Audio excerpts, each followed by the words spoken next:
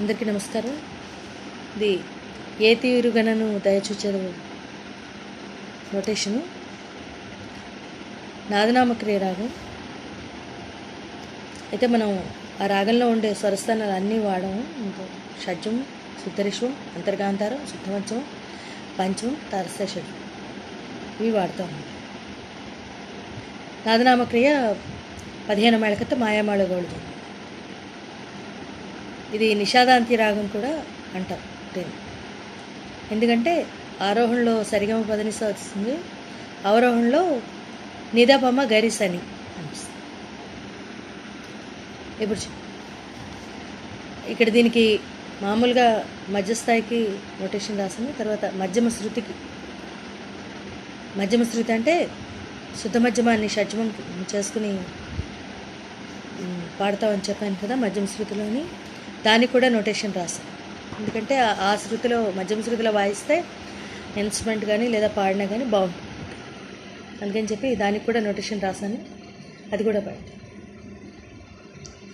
ఏ తీరుగనను సారి మామ మమ దయచూచెదవో మమ మామ పమగ ఇక్కడ రేషమా నుంచి శుద్ధ మధ్యమానికి వెళ్తే బాగుంది ఇన్వెస్ట్మెంట్ ప్లేసెస్ ఈనవం సోత్తమ గగమగరీ సస రామ సరిగా గా అన్నప్పుడు రిగా అలాగ ఆసిలేషన్ ఇస్తే బాగుంది నాతరమాభవ సారిరి రే రి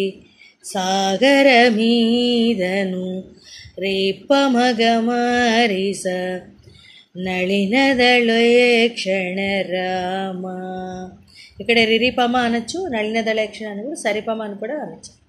రిరిపమ గరి సరి స లేక్షణ రామ ఆ రకంగా వస్తుంది. మళ్ళీ ఒకసారి మొత్తం పల్లవంతుడు ఏ తీరుగనను దయచూచెదవో ఇనవం సోత్తమరామ. నాతరమాభవ సాగరమీదను నళినదళే క్షణరామ. ఇక్కడ రిరి వేస్తే బాగుంది రిగా కన్నా కూడా రిరి అంటే బాగుంది క్షణాదుడు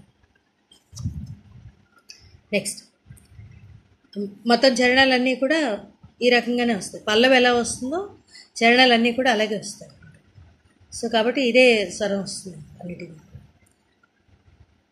ఇప్పుడు మధ్యమ శృతి చరణం ఈ రకంగా వస్తుంది. మధ్యమ శృతిలో ఒకసారి మళ్ళీ చెప్తాను. ఇదివరకు చాలాసార్లు చెప్పాను. మధ్యమ శృతిలో ఏమవుతుందంటే శుద్ధ మధ్యమాన్ని షడ్జమం కింద చేస్తుంది. సో శుద్ధ మధ్యమం ఎప్పుడైతే షడ్జమం అయిందో దాని పక్కనే ప్రతి మధ్యమం కదా ఆర్డర్. ప్రతిమధ్యమం శుద్ధ రిషభం.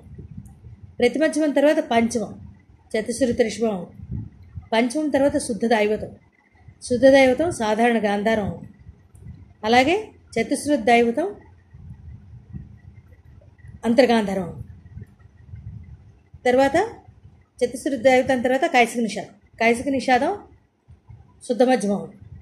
మళ్ళీ అలాగే కాకల నిషాదం ప్రతిమధ్యమం. తారస్థాయి షడ్జమం పంచమం. అయిపోయింది కదా? తర్వాత తారస్థాయి షడ్జమం తర్వాత శుద్ధరిష్మం వస్తుంది. శుద్ధరిష్మం శుద్ధ దైవతం చతుశ్రుత రిషమం దైవతం అలాగే నెక్స్ట్ సాధారణ గాంధారం కైసిక నిషాదం. అంతర్గాంధారం కాకల నిషాదం. మళ్ళీ అక్కడ శుద్ధ మధ్యమం తారస్థాయిలో శుద్ధ మధ్యమం తారస్థాయి షడ్జమం. ఆ రకంగా సాటు సా వస్తాయి. శుద్ధ మధ్యమం నుంచి అంటే మధ్యస్థాయి శుద్ధ మధ్యమం నుంచి తారస్థాయి శుద్ధ శుద్ధమధ్యమం వరకు ఈ రకంగా స్వరస్థానాలు మారుతాయి. దానికి నోటేషన్ ఇదే. ఏమిటి ఇక్కడ ఈ స్వరాల చేయి నాదనామక్రియలో ఇవి ఉండవు కదా అని చాలామందికి డౌట్ వస్తుంది. ఎందుకంటే మనం ఎప్పుడైతే మధ్యమ శృతికి వెళ్ళామో మధ్యమ శృతికి మార్చామో పాటని అప్పుడు స్వరస్థానాలు అన్నీ కూడా చేంజ్ అవుతాయి మారుతాయి. సో అప్పుడు ఏమిటి వస్తాయి అన్నది దానికి నోటేషన్ ఈ రకంగా వస్తుంది. ఇప్పుడు చెప్పాను కదా దాన్ని బట్టి నోటేషన్ ఈ రకంగా వస్తుంది. ఇలా ఇలా వాయిస్తే చాలా బాగుంటుంది. మధ్యమ శృతిలో వాయిస్తే బాగుంటుంది.